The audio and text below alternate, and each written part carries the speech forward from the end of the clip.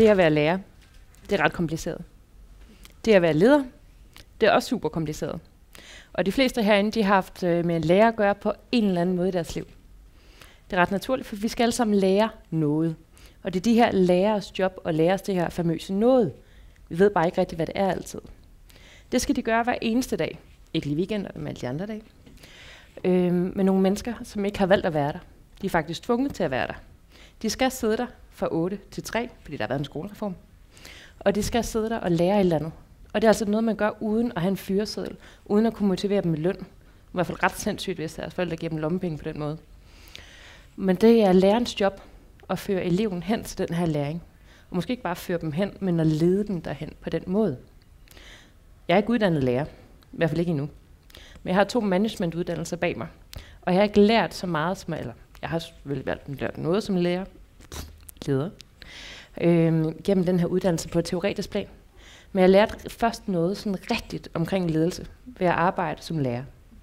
Og i aften, så handler det om, hvad jeg lærte om at lede ved at være lærer. Det er et ret komplekst job. Jeg har prøvet at summere bare de vigtigste punkter op, hvad en lærer gør hver eneste dag. Man skal undervise, ja, jeg underviser 26 plus elever, der ikke har valgt at være der. De er tvunget til at være der. De skal med ind klokken 8, ellers så kommer der brænde ned. Men de kommer, og det er fantastisk. Det er mit job at gøre dem klar til livet. Det er jo ikke et stort ansvar. Men øh, det bærer vi hver eneste dag.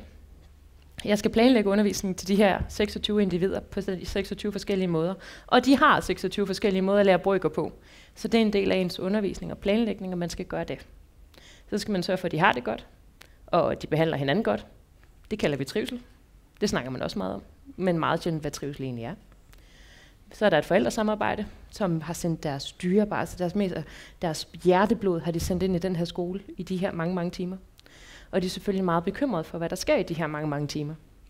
Så der har man også 26 gange 2, nogle gange gange 3, nogle gange 4 interessenter, der er også interesseret i, hvad de her elever laver, og hvad de her lærer, og hvordan de har det. Så er der præstation i test og målinger, for de der test og målinger, de måler også mig. Så er der møder. Dem er der rigtig mange af. Og så er der en lille ting, som hedder implementere de politiske visioner for folkeskolen. For der er rigtig mange interesser på spil i den her folkeskole, og rigtig mange politikere, der gerne vil lede den her folkeskole i sted hen. Nogle gange så glemmer de måske at lede de mennesker, der skal lede den forandring, de gerne vil. Det er en anden tale. Det her, det er så, hvad jeg lærte. For jeg synes, der er nogle universelle ting i det at være lærer, som man kan tage videre med sig, uanset hvilken form for lederstilling man har, man har øh, ude i verden. Man skal for guds skyld være sig selv. Hvis ikke du kender dig selv, når du træder ind i det her klasselokale, så kommer du rigtig hurtigt til det. Fordi der er 26 elever, som alle sammen har spørgsmål til dig, vil vide, hvor du er, vil vide, hvor dine grænser er, går du med til det her, går du ikke med til det her, øh, hvad nu, hvis jeg bliver ved med at spørge, og bliver ved med at spørge, og bliver ved med at spørge, og bliver ved med at spørge, og bliver ved med at spørge, og bliver ved med at spørge, siger hun så nej på et tidspunkt, eller giver hun mig lov. Og der gælder det om at kende sig selv rigtig, rigtig, rigtig godt, og sine værdier. Både så man kan se sig selv i øjnene, man kan stå ved sig selv, og så man er forudsigelig. Fordi forudsigelighed giver tryghed, og tryghed giver trivsel og det gør, at man ved, hvor vi har hinanden. Det er vigtigt. Så er du oprigtig, og så får du det badge. Men, vi har nogle forskellige svære. Vi har jo alle sammen vores privatliv. Så har vi også noget, det personlige, vi også gerne vil bringe i spil, og det professionelle. Det professionelle skal vi have med os. Det er derfor, vi er der. Vi må også rigtig gerne byde ind med os selv, men vi er aldrig private. Hverken med dine elever. Det, du lavede lørdag aften på Body Holly, eller hvad du nu laver, det kommer ikke dem ved. Det er ikke noget, du skal bringe i spil, og det er heller ikke noget, du skal bringe i spil som leder. Men man skal bruge sig selv. Man skal bringe sig selv i spil, fordi så skaber man fællesskab. Fællesskab og sammenhold, det gør, at man har det godt, og det gør, at man har lyst til at komme klokken 8 om morgenen og lære noget. Vi ved stadig ikke, hvad det her noget er, men vi lærer det. Hvis man skaber fællesskab, det kan man gøre på rigtig mange forskellige måder, men der er blandt andet at sørge for, at man har det godt, man har nogle fælles værdier. Og det er igen det her med, at man bringer sig selv i spil med sin personlighed og med det personlige, men ikke det private. Det er vigtigt. Så skal man også have en fælles vision, fordi hvordan, hvor man vil have det her fællesskab hen? Hvor er det, hvem er det, vi gerne vil være? Hvem vil vi gerne blive til? Og der skal man som lærer lede sin klasse hen til det fællesskab, hen mod den vision. Fordi hvis man kan få de her elever samlet om sig, så er man altså simpelthen bare ustoppelig. Og det er ret fedt, når man har den følelse af, at når man siger noget, så har man bare den her sådan stormflod af elever, der følger en. Kunne I høre det? Præcis, tak for det, Kasper. Man skal så lære dem at lægge nogle strategier, hvis ikke man lægger dem for dem. Nogle gange gør man det meget, meget bevidst, nogle gange gør man ikke. Det kan man også godt gøre med sine medarbejdere, hvis de skal lære noget, eller hvis de skal et sted hen og lave noget. Så kan man godt sige, okay, men du kan gøre det på den her måde, du skal gøre det sådan og sådan. Men det er ikke sikkert, at de så følger den. Så man skal hjælpe dem på vej. Så er man en anden herrefører. Så lægger man en strategi, den skal man hjælpe dem. Hvis de drejer lidt ud af, så skal man få dem lidt tilbage. Nogle gange så er de også et sted hen, hvor det er super fedt, og så må man lægge, lægge strategien om. Fordi vi skal alle sammen være en del af det her, for at lære det der famøse noget. Det viser lederskab, hvis man kan det. Vi har de her forskellige zoner. Hvis vi er i vores komfortzone, så har vi måske ikke lagt en god nok strategi. Det er der, vi kan alting. Hvis vi kan alting, så keder vi os lidt. Hvis vi keder os lidt, så mister vi lidt motivation. Hvorfor skal vi egentlig lave det? Louise, det er det kedeligt. Og jeg gider ikke.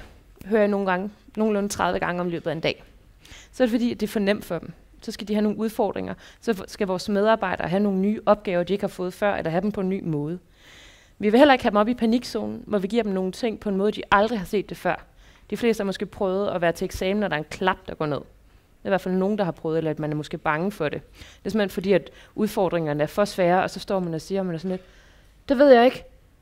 Hvis nogen af jer nogensinde er blevet peget på en lærer og siger, hvad er kvadratroden af 27? Så er der en lille del i hjernen, der hedder amygdala, som begynder at sprænge rundt i hjernen med frygt, og så fryser man, eller flygter, og nogen kæmper. Det er de tre responser, den har. Anden snak. Så der har vi heller ikke lyst til at være. Men vi vil rigtig gerne være i vores udviklingszone. Det er der, vi går fra noget kendt, ud i noget ukendt. Vi skal stå lidt på tær. Vi skal anstrenge os lidt. Vi skal sådan, uh, man skal lige sådan, ah, hvordan er lige at gøre det her? Der er vi super motiveret for at lære. Der er vi utrolig modtagelige for at modtage de her strategier. Der bruger vi vores fællesskab og kigger lidt på visionen. Hvor er det, vi gerne vil hen? Og så bruger vi alle de her ting til at lære det der famøse noget i den her zone for udvikling. Også kaldet zone for nærmeste udvikling. Og den tror jeg ikke kun gælder for elever. Den gælder i allerhøjeste grad også for de medarbejdere, vi har rundt omkring i de forskellige organisationer. Hvis vi har giver en medarbejder nogle opgaver, som de ikke kan, eller som de ikke kan løse på en måde, vi gerne vil have det, Jamen, har vi som ledere så været gode nok til at give dem de strategier, de skal bruge, de værktøjer, de har brug for for at løse det? Er det for nemt for dem? Er det der for meget i deres komfortzone, så kan det skubbes lidt? Eller er det fordi, de er i en panikzone? Og den her tredeling er enormt brugbar, er min erfaring, til at snakke om, hvor er du lige nu? Hvad har du brug for? Hvad kan jeg gøre for at hjælpe dig videre til det næste skridt? Hvis man kan snakke om det, så tror jeg, at man er kommet rigtig, rigtig langt som lærer, og rigtig, rigtig langt som leder, både af en organisation og et klasserum. Det er også vigtigt, at når man skal løse de her opgaver, at der er en vis grad af autonomi. Det er et psykologisk behov, vi næsten alle sammen har. Nogle de bruger det til at møde lidt senere ind, til at flexe lidt, til at sidde i et andet kontor, eller til at arbejde hjemmefra. Det kan elever ikke. I hvert fald ikke med den her skolereform. Men det, man kan give dem lov til, inden for de her meget bestemte rammer, der er, fordi elever, de er om nogen tvunget til at skulle holde pause, når der er pause. De må tisse, når der bliver, hvis de får lov til det. Og de skal matematik, når at der står matematik i skemaet, ikke når de sådan selv føler for matematik. Så kan man give dem lov til for eksempel at sidde, hvor de vil, eller arbejde sammen med dem, de vil, eller sidde oven på et skab og lave brygger. Er det ikke lige meget, hvor man sidder? Hvis du kan lave brygger på et skab, er det så ikke lige så fint som at sidde på din plads? Personligt vil jeg argumentere for det. Så fremt at man kan håndtere det, den frihed under ansvar, det så også giver, eller kræver. For mig er det et must-have i mit klasserum. Så er det også rigtig vigtigt at have et klasserum og et sted, hvor man, kan hvor man tør begå fejl, og hvor man lærer af dem. Og det er rigtig vigtigt at bringe sig selv i spil. Hvis ikke du kan vise dine elever eller dine ansatte, at du selv tør begå en fejl, og hvordan du selv lærer af dem, hvordan skal de så kunne? Det er sådan en nulfejlspolitik, hvor man aldrig må sige et forkert svar. Hvem tør så række hånden op?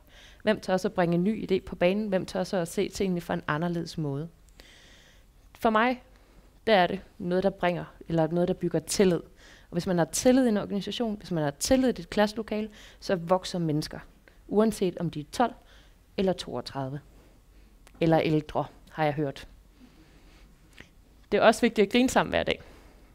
I min klasse, der har vi dagens joke. Vi opsøger sådan helt, altså nærmest på schema, det sjove og det at grine sammen. For det at grine sammen, det, bringer, det, bringer, det bygger også tillid. Og tillid, det bringer trivsel, tryghed, og du har lyst til at møde ind hver eneste dag. Øh, de bedste arbejdspladser, jeg har været på, det er også der, hvor man har grint sammen. Ikke hele tiden. det vil ikke være super produktivt, men hvor man sådan med sine kollegaer griner sammen og opsøger det sjove, og har et eller andet sådan jargon sammen, hvor sådan er sgu lidt fed. Det kan også gå for meget i en retning. Det lærte vi med MeToo. Men vi vil gerne være et sted, hvor vi det er trygt at være, hvor vi har det godt med hinanden, og hvor vi kan kigge på hinanden og grine.